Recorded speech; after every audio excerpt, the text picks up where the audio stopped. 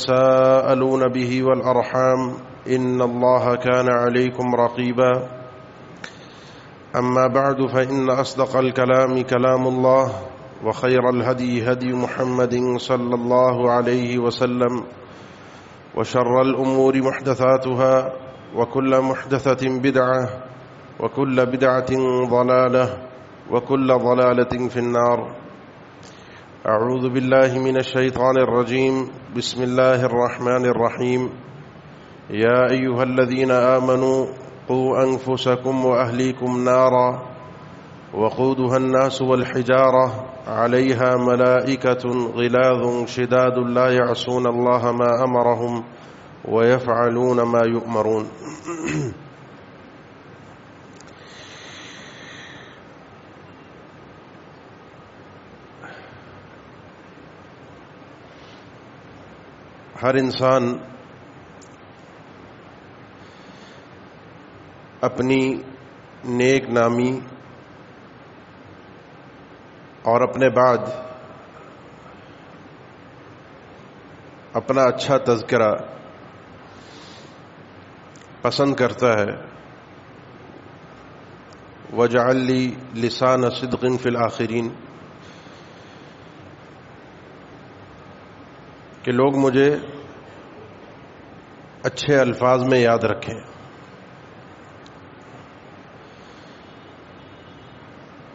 और इसी फितरत को इंसान अपने सामने रखते हुए, अपने बच्चों को, अपनी औलाद को, तहजीब और अखलाक, अदब और आदाब सिखाता है।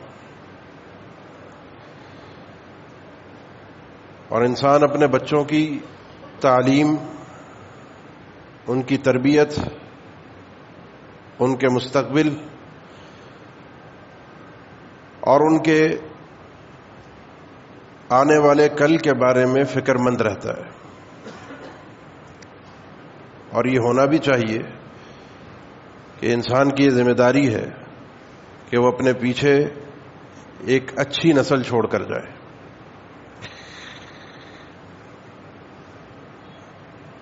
अब हम जिस माशरे में रहते हैं तो ये तरबियत के असूल भी हमें माशरे ने अदा किए हैं कि बच्चों की तरबियत हम इस अंदाज से करें, जो अदब और आदाब हमारे माशरे ने तय किए हैं, हम बच्चों को सिखाएँ। क्या तहजीब है और क्या अच्छा और क्या बुरा, माशरे के एतबार से हम अपनी औलाद को ये सब सिखाते हैं। और सबसे बढ़कर इंसान को ये फ़िक्र होती है कि जब वो इस दुनिया से जाए तो पीछे बच्चों के पास इतना कुछ हो कि जिसके ज़रिए से वो अपनी ज़िंदगी को संभाल भी सकें, आगे भी बढ़ा सकें। और उनको किसी किस्म की कोई परेशानी ना हो। वलीक्षल्लिन तरकू मिन खलफ़ीम ज़ुर्रियतन ज़ियाफ़न खाफ वाली इंसान को डरना चाहिए अपने पीछे औलाद को कमज़ोर छोड़कर ना जाए। सादिम ने भी वक़ास रदी अल्लाह हो बीमार हुए फ़तेह मक्का के मौके पर। और ऐसी बीमारी थी कि उनको लगा कि शायद मेरा आखिरी वक्त आ पहुँचा है। अल्लाह के नबी अलैहि वसल्लम उनकी आदत करने के लिए गए। उन्होंने एक मसला भी दरियाफ्त किया, अल्लाह के नबी, मेरे पास माल बहुत है और सिर्फ़ एक ही बेटी मेरी वारिसा बनेगी। मैं चाहता हूँ अपना माल अल्लाह की राह में खर्च कर दूँ। आपने फरमाया, इसकी इजाज़त अब नहीं है कि तुम वसीयत में सारा माल लिख दो अल्लाह की राह में। अल्लाह के नबी, आधे की इजाज़त दे दीजिए, दो सलुस की इजाज़त दे दीजिए, एक सलुस की दे दीजिए, एक तिहाई माल की। आपने फरमाया, ठीक है, एक तिहाई भी ज़्यादा है। फिर आपने फरमाया कि पीछे अपने इस दुनिया से जाने के बाद अपनी औलाद को इन न का इंतज़ार वारा था तक अग्निया खैर में इंतज़ार हम आलत तकफ़ून अन्नास, के उनको गरीब मस्किन बनाकर छोड़ जाओ और वो लोगों के सामने हाथ फैलाते रहे। ये बेहतर नहीं है। बेहतर यह है कि जो खर्च करना था वो ज़िंदगी में कर दिया। अब जो औलाद को मिलना है, वो औलाद को मिलने दो। सादिन वक़ास रज़ी अल्लाह तु को इसके बाद एक लंबी ज़िंदगी मिली। उसके बाद वो जिए। तो अल्लाह के नबी सल्लल्लाहु अलैहि वसल्लम ने एक बात समझा दी कि अपनी औलाद के मुस्तकबिल के हवाले से इंसान को दुनिया के एतबार से भी कोशिश और मेहनत करनी चाहिए कि उनके हाथ में कुछ ना कुछ रहे। लेकिन जिस अंदाज से अब हमारी नस्ल परवान चढ़ रही है, आगे बढ़ रही है, उसके अंदर एक खतरा आ गया है। और वो एक खतरा ये है कि मैं अपने बच्चों के लिए कमाता हूँ। और आगे उनको अपने साथ कामकाज में शामिल करता हूँ। बड़े होते हैं, आहिस्ता आहिस्ता सीखते हैं, बढ़ते हैं। अब वो जब मेरे साथ कारोबार में, कामकाज में शामिल होते हैं तो वो सारे अंदाज और तौर तरीके जो मुझे मार्केट ने, बाज़ार ने सिखाए हैं कमाने के। उसमें झूठ भी होती है, उसमें रिश्वत भी होती है, उसमें धोखा भी होता है। बस एक ही चीज़ होती है, एक ही उसूल है कि पैसा आना चाहिए। या अतियालन्ना से जमान युबाल उमा अखदा मिन हलाल अमिन हराम सही बुखारी की हदीस शायद इसी दौर पर अल्लाह के नबी सल्लल्लाहु अलैहि वसल्लम का यह फरमान सादिक आता है कि एक वक्त लोगों पर ऐसा आएगा कि उनका हम और गम बस पैसा होगा आना चाहिए हलाल है हराम है हमें इसकी परवाह नहीं है बस पैसा आना चाहिए इसीलिए इसकी मैं जो जीती जागती मिसाल देखता हूँ इस हदीस की कि पहले एक इस्लामिक बैंक के नाम से कुछ कुछ लोगों का एक कामकाज शुरू हुआ बैंककारी का।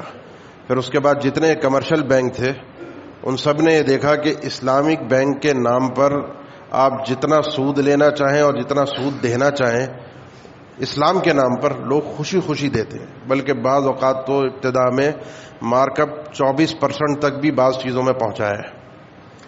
वो सब के सब कमर्शियल बैंक अब साइड पे अपनी एक ब्रांच बना के बैठ गए हैं, इस्लामिक बैंक के नाम से। पैसा आना चाहिए ना। इस्लाम के नाम पर आए, कुफर के नाम पर आए, यहूदी के नाम पर आए, सूद के नाम पर आए, जक़ात के नाम पर आए, सदक़े के नाम पर आए, पैसा आना चाहिए।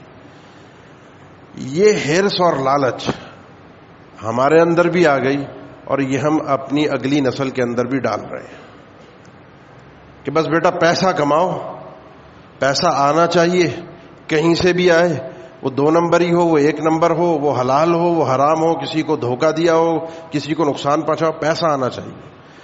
मैं खुद भी इसी तरीके से कमा रहा हूँ और आगे अपनी नस्ल को भी इसी अंदाज पर तरबियत दे रहा हूँ। इल्ला माशा अल्लाह हाँ हलाल कमाने वाले भी हैं और हलाल पर तरबियत करने वाले भी हैं, लेकिन उमूमी माशरे का मिजाज अब ये नहीं रहा। जब हलाल आप सिखाएँगे नहीं बच्चे को, हराम की तमीज नहीं देंगे तो वो नस्ल जिस अंदाज पर तरबियत पाएगी और जो वो नस्ल आगे बढ़ेगी तो ना तो मैं खुद अपने आप को आग से बचा सका और ना इस नस्ल को अपनी औलाद को आग से बचा सका। क्योंकि अब तरबियत का महवर और मदार सोच और फ़िक्र सिर्फ़ दुनिया है। हम औलाद को दुनिया देने की कोशिश करते हैं। हम औलाद को आखिरत के हवाले से समझाने की कोशिश नहीं करते। हाँ इतना है कि कुरान पढ़ा दिया, नाजरा भी पढ़ लिया, किसी ने हिफ्ज भी करवा दिया, दुआएँ बच्चे को आ गई, रमज़ान में बच्चे ने तरावी पढ़ना सीख ली, पढ़ाना सीख ली, बस इसके बाद अब वो दुनिया में मगन हो। अब इसके बाद वो दुनिया कमाए, इस दुनिया में जीना है। अच्छी बात है कमाए, गलत नहीं है, लेकिन उन उसूलों के मुताबिक जो उसूल शरीयत ने अता किए हैं। उन उसूलों के मुताबिक नहीं, जो हमें माशरा और बाज़ार अता करता है। होगा क्या? होगा ये कि जब हम अपनी नस्ल को इस अंदाज पर तरबियत देंगे तो ये माशरा का, पूरा का पूरा, मैं नहीं, पूरा का पूरा माशरा बर्बाद होगा। और अगर हलाल पर तरबियत देंगे, हलाल सिखाएँगे तो मैं नहीं, पूरा का पूरा माशरा आसानी और आसाइशों के अंदर और शहादत के अंदर आएगा। इस वक्त जितने आजमाइशें, जितनी परेशानियाँ, जितनी मुश्किलात और जितने मामला हमारे सामने आकर खड़े हैं, उनमें बुनियादी एक वजह, हलाल और हराम की तमीज का मिट जाना है। इंसान काम करते हुए सोचता नहीं है क्या हलाल है और क्या हराम है। अब इस हवाले से जितनी अहादीस और आयात हैं, वो आप इस मिंबर और महराब से अक्सर व बेशतर सुनते रहते हैं। ये हुक्म हलाल कमाने का अल्लाह ताला ने अम्बिया और रसूलों को भी दिया। ये हलाल कमाने और खाने का हुक्म अल्लाह ताला ने मोमिनों को भी दिया। ये हलाल कमाने और खाने का हुक्म अल्लाह ताला ने सारी इंसानियत को दिया। या यूहन्नासु कुलू मिम्मा फिल अर्द हलाल तय्यबा। या यूहल्लदीन आमनु कुलू मिन तय्यबात मा रज़क़नाकुम या यूहर रसुलु कुलू मिन तय्यबात व अमलु सालिहा। कोई एक फर्द भी अपने जिसम में हराम का लुकमा ना उतारे। एक फर्द भी। वो इंसान आम इंसान हो, वो एक मोमिन हो, वो एक नबी और रसूल हो। हराम किसी के पेट में नहीं जाना चाहिए। हलाल सौ फ़ीसद यकीनी होना चाहिए। एक हराम चीज़ें वो हैं कि जिन चीज़ों को अल्लाह ताला ने हराम करार दिया है, वो मफसदा है, वो खराबी है, वो शर है मेरे वजूद के लिए। सुअर हराम है, मुर्दार जानवर हराम है, वो चीज़ ही पूरी की पूरी नुकसानदेह और एक हराम है कि जो चीज़ हलाल है। मैं उसे हराम तरीके से कमाता हूँ, हराम अंदाज से कमाता हूँ। मेरी गुफ्तगु का महवर ये दूसरा है, हलाल चीज़ को हराम तरीके से कमाना। इसके नुकसान हैं। अपनी नई नस्ल को अगर हम ये चीज़ देकर जाएँगे, इसके नुकसान मैं भी उठाऊँगा और नई नस्ल भी उठाएगी। इमाम शाफी के मुतालिक मशहूर ज़माना उनका एक मशवरा था। एक शख्स ने आकर शिकायत की कि मैं अपने मालिक के पास उजरत पर काम करता हूँ, मेरी उजरत पाँच दिरम है। एक अरसे से थी, पहले गुजारा हो जाता था, अब गुजारा नहीं होता। बताइए क्या करूँ? कोई वजीफा? हमारे पास भी लोग आते हैं, लोगों के आमतौर पर जहन में ही होते हैं। कोई नए काम का आइडिया, कोई नई नौकरी, कोई ज़्यादा कमाने का। उन्होंने कहा, जाओ जाके अपने मालिक से कहो, उनकी, उस शख्स की हालत पर गौर किया, सवाल जवाब किया और कहा कि अपने मालिक से कहो कि अब मेरी उजरत पाँच नहीं, चार दिरम होगी। हैरान तो हुआ, चला गया और बात मान भी ली। थोड़े दिन बाद फिर आया। इमाम साहब, चार से भी मसला हल नहीं हुआ। कहा, जाकर कहो, अब तीन कर दे। और मजीद परेशान, इमाम साहब, पाँच में गुजारा नहीं था, चार में नहीं था। अब आप कह रहे हैं, तीन कर दो। तीन पर भी राज़ी हो गया, चला गया और कुछ दिन बाद आके कहने लगा कि तीन में अब गुजारा हो रहा है। तीन में परेशानियाँ खत्म हो गई हैं। इमाम साहब ने ये बसीरत जो अपनी इस्तेमाल की वो ये थी कि इस शख्स ने उजरत पर जो काम कर रहा था, इसका काम इतना था कि जिसमें इसकी हलाल की उजरत तीन दिरम बनती है। पहले पाँच दिरम वाला काम तो कर रहा था, पाँच दिरम ले रहा था, फिर काम चोरी इंसान के अंदर आ जाती है। काम चोरी आ गई, पैसे तो पूरे मिल रहे हैं। अब वो जो पैसे पूरे मिल रहे हैं, जिसका मैं काम नहीं कर रहा, उस पैसे की नहूसत भी तो मेरी ज़िंदगी में आएगी। उसकी बेबरकती भी तो मैं अपनी ज़िंदगी में महसूस करूँगा। उसका मुझे नुकसान भी तो होगा। वो इंसान आमतौर पर इदराक नहीं करता क्योंकि इंसान की फितरत में आम तौर पर कसरत है, लालच है, हिरस है। अल्लाह के नबी वसल्लम के मशहूर फरमान तकरीबन हर किताब हदीस में आपको मिलेगा। आपने फरमाया मनहुमानी लाइशबान दो किस्म के जिनके अंदर नहमा होता है। नहमा कहते हैं अरबी जबान में, ऐसी हिरस और लालच और तमा को। कि जिसके बगैर इंसान को सुकून नहीं आता। जैसे बाद लोगों की एक तबीयत और मिजाज बन जाता है किसी चीज़ का, किसी नशे का तो उसके बगैर उसे चैन नहीं आता। और कोई नशा उससे वो छीन ले तो उसकी ज़िंदगी बर्बाद होना शुरू होती है। उसको तकलीफ़ होती है, उसको अजियत महसूस होती है। फरमाए, दो किस्म की लालचें ऐसी हैं जो कभी जिस इंसान के अंदर आ जाए, उसका पेट नहीं भर सकती। एक है लालच और तमा, इंसान को तलब इल्म की। इसको हिरस पैदा हो जाए ना, इल्म हासिल करने की, फिर सारी दुनिया इधर से उधर हो जाए। उसको बस यही है कि किताब मिल जाए, इल्म मिल जाए, कहीं से ये चीज़ मिल जाए, कितना नुकसान हो रहा है, दुनिया का उसे परवाह नहीं होती। और दूसरा आप सल्लल्लाहु अलैहि वसल्लम ने फरमाया, तालिबुल माल, या तालिबु दुनिया, ला यकदी नहमत जो दुनिया और माल का लालची और हरीस होता है, इसकी लालच कभी पूरी नहीं हो सकती।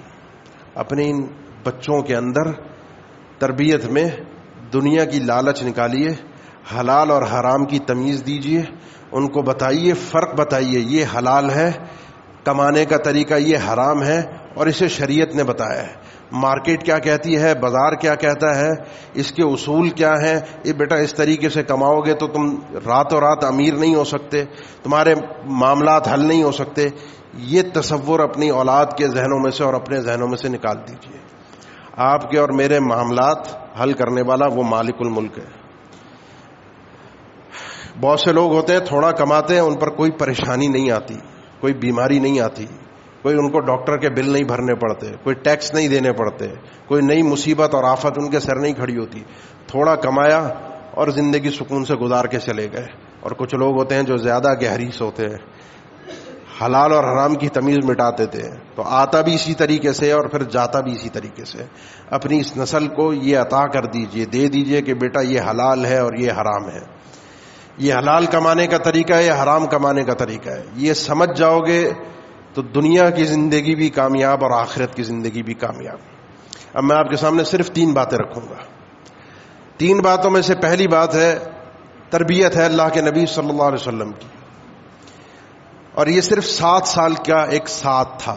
सात साल एक तरबियत थी अपने नवासे हसन रदी अल्लाह तु की। सन तीन हिजरी में पैदा हुए थे रमज़ान के महीने में। और अल्लाह के नबी सल्लल्लाहु अलैहि वसल्लम के इस दुनिया से जाने तक तकरीबन सात साल इनकी उम्र बनती है। इस छोटे से बच्चे को देखा कि एक खजूर उठाकर इस बच्चे ने मुँह में डाली है। पहले तो एक सही मुस्लिम की हदीस है, डांटा आपने। और डांटने के अल्फाज ये थे कि कखिन कखिन के अल्फाज आपने फरमाए।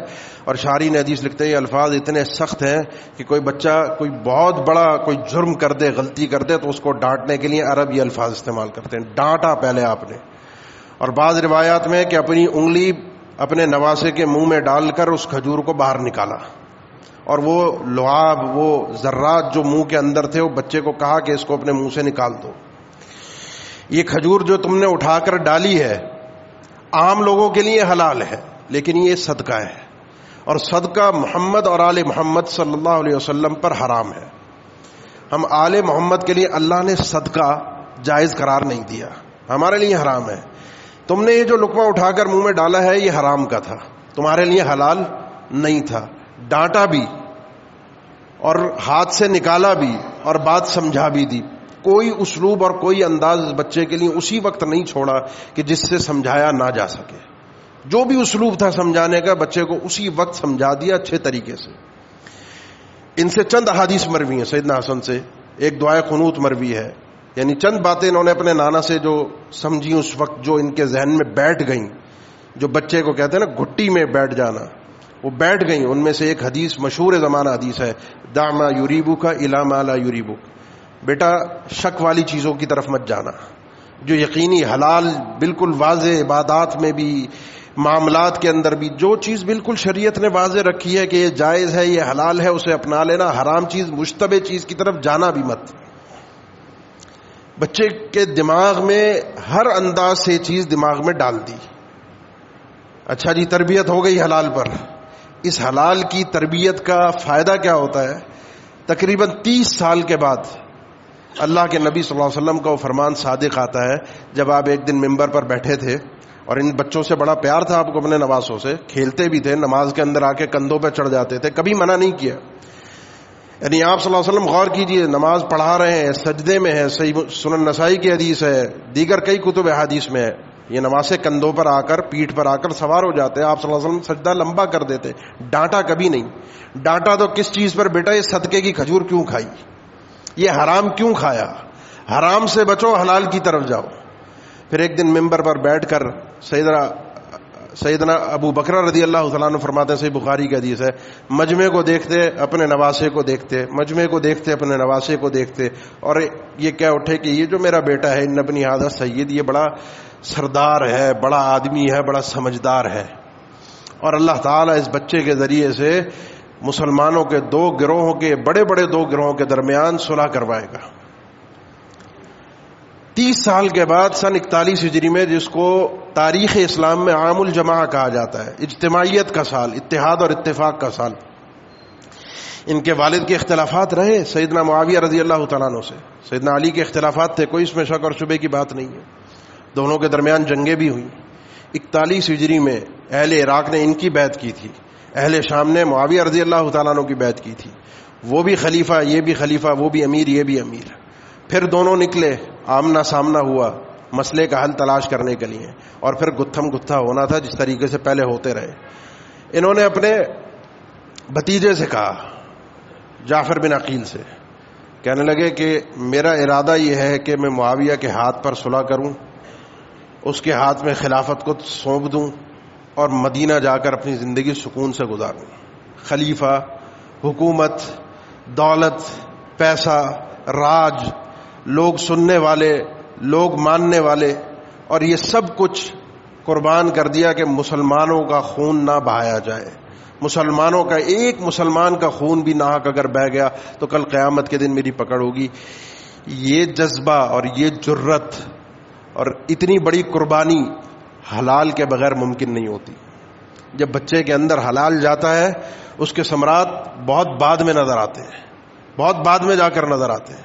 ये हलाल की तरबियत जो है, जब ये औलाद के अंदर आती है तो मैं दुनिया से चला भी जाऊँ, मैं इस दुनिया से रुखसत भी हो जाऊँ तो फिर मुझे पता चलता है अपने माजा की हदीस के मुताबिक अल्लाह के नब्स फरमाया, अचानक दराजात में इजाफा हो जाता है। जो मिलना था, वो मिल चुका। जो सहूलियात मिलनी थी, जो नियमतें मिलनी थी, वो मिल चुकी। इजाफे पर अल्लाह से जब सवाल होता है कि अल्लाह जो मिलना था, मिल गया, ये इजाफा किस बुनियाद पर?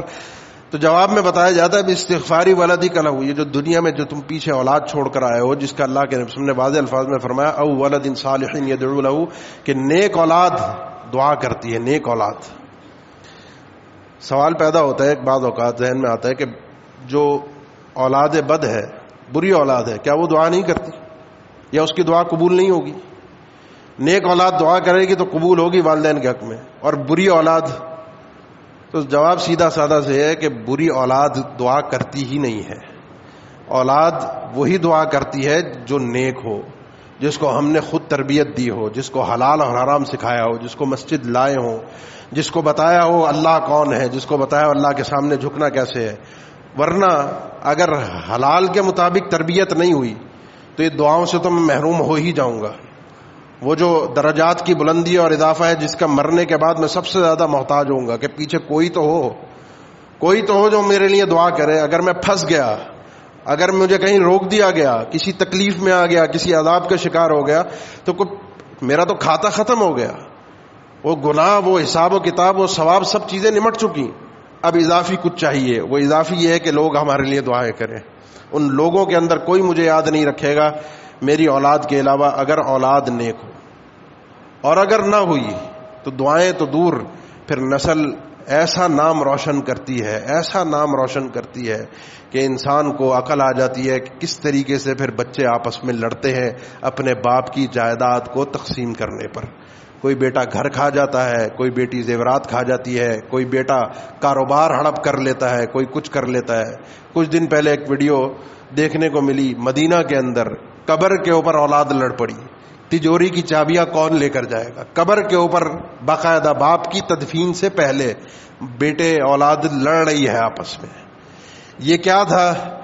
ये वही लालच थी, ये वही हिरस थी जो मैं अपनी औलाद के अंदर पेवस्त करके गया कि बेटा पैसा आना चाहिए। चाहे तुम अपने बाप की गर्दन पर पाँव रख के कमाओ, चाहे तुम अपने भाई के हक पर डाका डालो, चाहे तुम अपनी बहन का हक दबा लो, चाहे कुछ भी कर लो, पैसा बस आना चाहिए। इस अंदाज पर जब तरबियत होती है तो नतज यही निकलते हैं।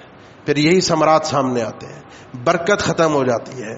इंसान की ज़िंदगी का सुकून खत्म हो जाता है। एहसास खत्म हो जाता है। कई ऐसे लोग आप जाकर देखिए अस्पतालों के अंदर, कई ऐसे लोग आप जाकर देखिए ये एदी के जो बूढ़े लोग जहाँ पर बैठे होते हैं। उनकी औलाद उनको क्यों छोड़ गई? अस्पतालों के अंदर बड़ी उम्र के मरीज़ बैठे होते हैं, कोई साथ में रहने वाला, संभालने वाला आमतौर पर नहीं होता। ये औलाद क्यों छोड़ गई? औलाद क्यों नहीं ख्याल रख रही? क्योंकि औलाद को मैंने खुद सिखाया था, बेटा, दुनिया का मफाद मुकदम है आखिरत पर। इस दुनिया को कमाना सीखो। वो वक्त जो तुम बर्बाद करोगे माँ बाप की खिदमत में, उससे बेहतर है चार पैसे जाकर कमा लो।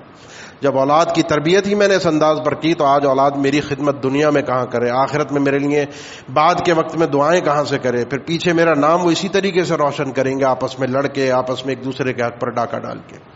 तरबियत अगर अच्छी होती है तो फिर हुकूमतें लोग छोड़ देते हैं।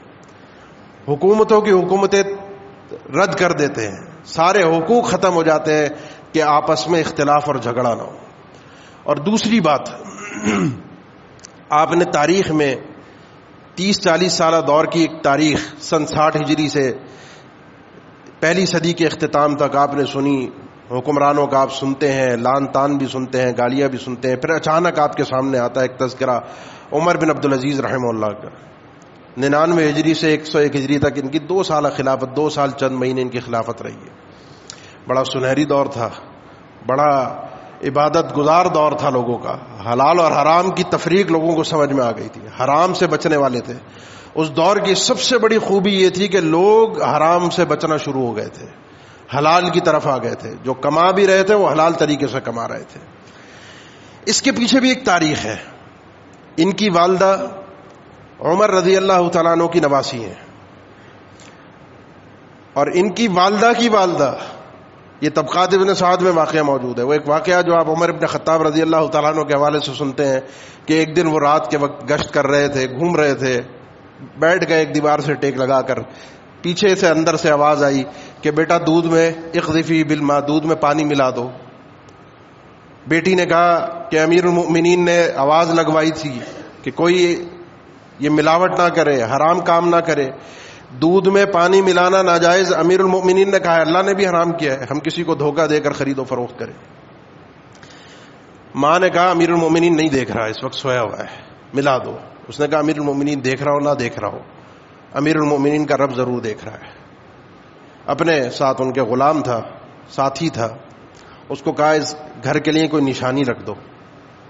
अंधेरा था, चले गए। दिन में उसको भेजा कि जाओ उस घर की खबर लेकर आओ जिस घर पे निशान लगाया था। घर के बारे में इतलात ली तो माँ और बेटी थे और बेटी गैर शादीशुदा थी।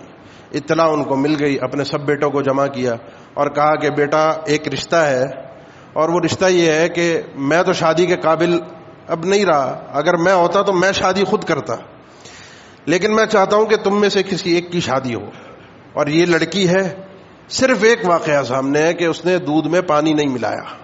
बाकी खानदान क्या है, हसब क्या है? बाप भी नहीं था, बेटी और माँ अकेले घर के अंदर, गुजर बसर क्या होगा, क्या दुनिया होगी क्या मालो दौलत होगी?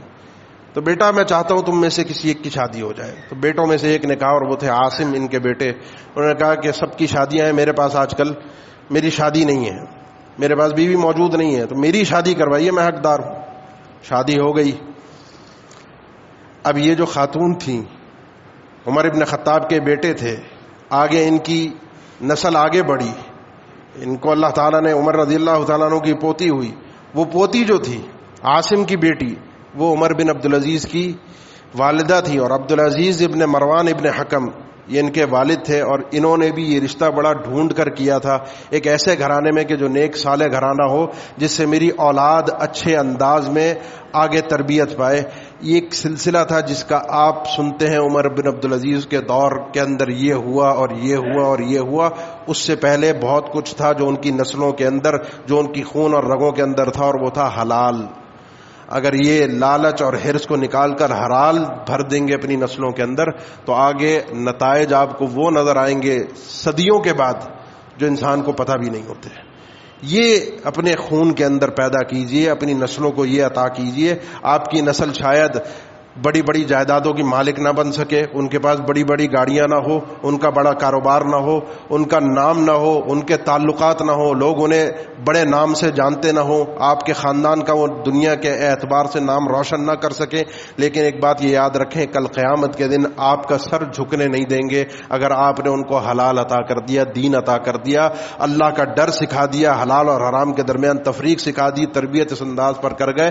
कल क़्यामत के दिन जिस अंदाज में वो नाम रोशन करेंगे, वो दुनिया में नहीं कर सकते। अल्लाह ताला समझने की तौफीक दे। अकुल कौल हादा वस्तफ़िरल्लाकुम वाखिर दावान अलहमदिल्ला रबालमी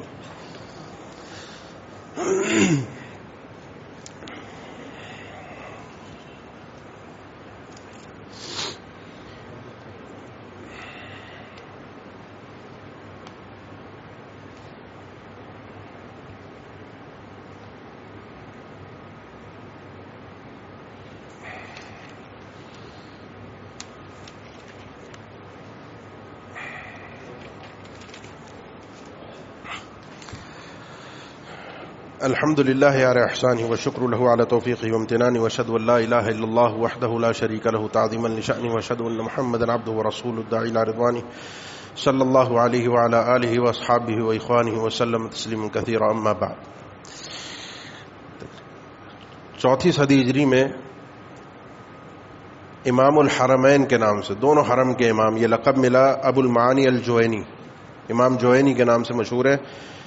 अहलुल कलाम से इनका ताल्लुक था। मुनाजरे के अंदर अपने दौर के ऐसे मुनाजिर थे कि इनके सामने कोई टिक नहीं सकता था। अल्लाह ने वो अक्ल, फ़ाहम फरासत अता की थी, जिसकी मिसाल नहीं है। बयान करते हैं कि मेरे वालिद ने मेरी तरबियत के लिए ख़ास अहतमाम किया। और वो ख़ास अहतमाम यह था कि मेरी वालदा को पाबंद किया। मेरी पैदाइश से पहले से एक अहतमाम था। और पैदाइश के वक्त पाबंद किया कि ये बच्चा सिवाय तुम्हारे दूध के किसी और खातून का दूध नहीं पिएगा। और ये पाबंदी इसलिए है कि इस बच्चे के लिए मैं एक एक पाई हलाल की कमा कर लाता हूँ। और तुम्हें भी जो खिलाता हूँ, वो एक एक चीज़, एक एक लुकमा हलाल का है।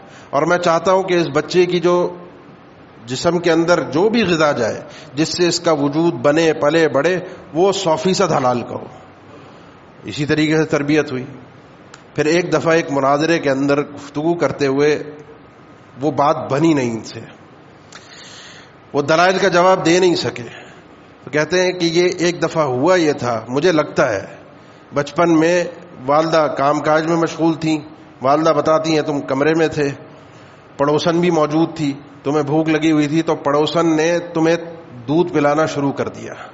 तुमने पिया भी दूध, और जैसे ही मैं आई तो मैंने ले लिया, तुम्हें उससे छीन लिया और उस खातून को डांटा कि तुमने उसे दूध क्यों पिलाया? तो कहते हैं, मुझे लगता है कि आज जो ये हिचकिचाहट हुई है, आज जो ये थोड़ा सा मैं पीछे हटा हूँ, आज जो कमज़ोरी आई है, शायद उसी दूध के असरात थे। अब अल्लाह बेहतर जानता है कि क्या था और क्या नहीं था, क्या हकीकत थी, क्या ये वही था या नहीं था, लेकिन ये अहतमाम सौ फ़ीसद खालिश तरबियत का जहाँ हम करते हैं, वहाँ सौ फ़ीसद खालिश गज़ा का अहतमाम अपनी औलाद के लिए ज़रूरी है। वही औलाद फिर औलाद कहलाने के काबिल होती है, वही औलाद फिर कुछ करती है, वही औलाद दुनिया में भी नाम रोशन करती है, आखिरत में भी करती है।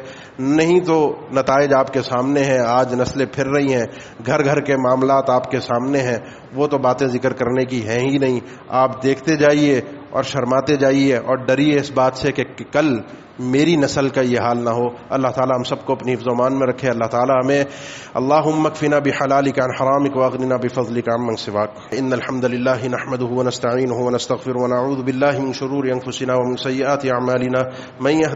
फ़ला मुदिल्ला फ़ला